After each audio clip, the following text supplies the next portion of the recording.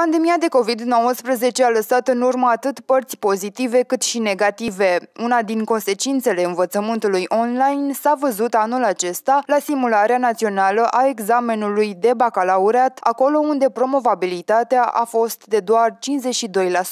Online se simulează foarte bine pentru copiii care sunt peste medie. Pentru copiii care sunt sub medie, uh, îi dezavantajează foarte tare. Și automat că de aici și rezultatele.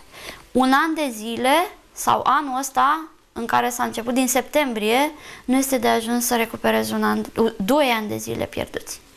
Pentru că m- materiile importante pentru BAC uh, se fac din clasa 9. Cu toate acestea, elevii de top au reușit să profite din plin de perioada de pandemie, iar rezultatele de la olimpiadele școlare din acest an au demonstrat-o. Asta le-a permis lor să se ocupe de pasiunile lor.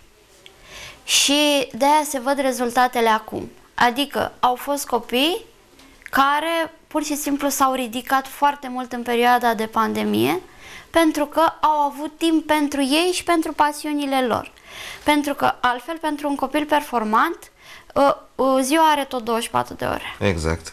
Ei trebuie să se ducă și la școală, ei trebuie să aibă și activitățile specifice unui copil, pentru că altfel, bine, sacrificii există.